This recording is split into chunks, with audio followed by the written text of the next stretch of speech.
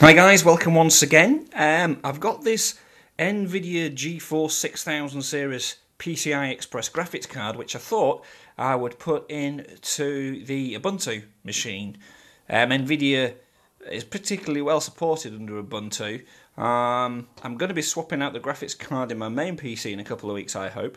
But I do know that the Radeon X300 SE in there um, does not like Ubuntu at all. So I thought I'd stick one of these in.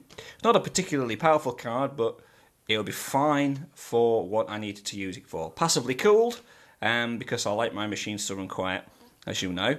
The problem with this card is that it does run rather hot.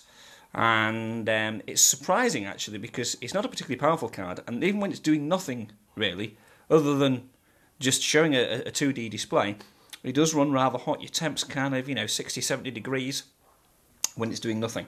So I thought it might be good to perhaps see if we can get this to fit on it. I'm hoping it will. This is um, this is an old Socket 7 heatsink and fan, and I like the fan on the top. I think that's a 40mm fan. And I'm hoping that we'll be able to take that off and put it on. It should just screw on. Uh, there's four screws on there, which on here just screw into the heatsink. So I'm hoping that they will just go uh, go straight onto the heatsink on there, just to try and run it a little bit cooler. Um, Obviously, it might be too loud, in which case it might not work. But what I'll do is we'll, we'll try it uh, and play with a few things and see if that works.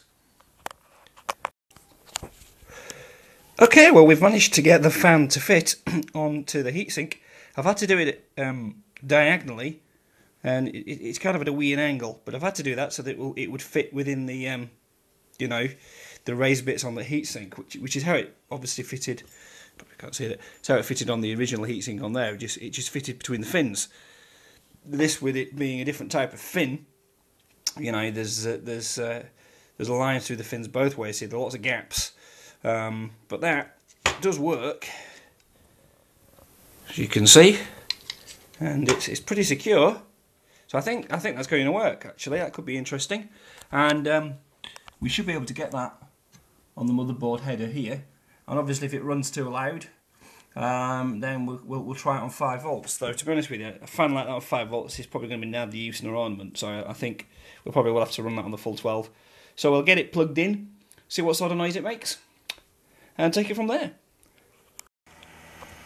Okay guys well the graphics card's now in the case and uh, that's blowing a fair bit of air. It seems to be sucking air away from the um, from the heatsink rather than blowing air onto it you know, that might be a good way of doing it. Not too sure yet.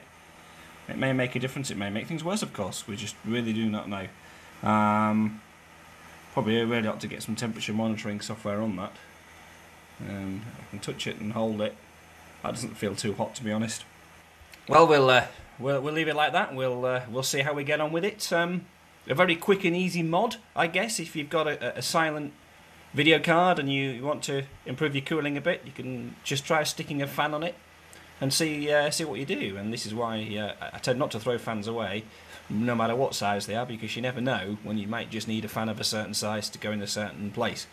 Um, there's other options. Because if that doesn't work, we can you can kind of put a fan either on the side cover, or you can try and put a fan in the case blowing on it, or just look at overall cooling on there. Um, but um, well, pleased with that. It was an interesting five minute mod.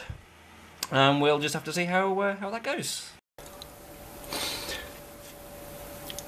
Hi folks, we're uh, back on the Ubuntu machine and what we're trying to do is just see how effective the fan is that I've installed on the graphics card.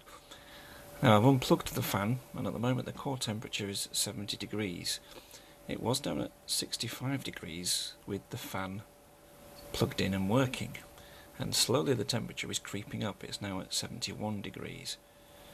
It's not doing anything at the moment, this computer, other than just displaying what you can see in front of you. So we're not working this graphics card at all.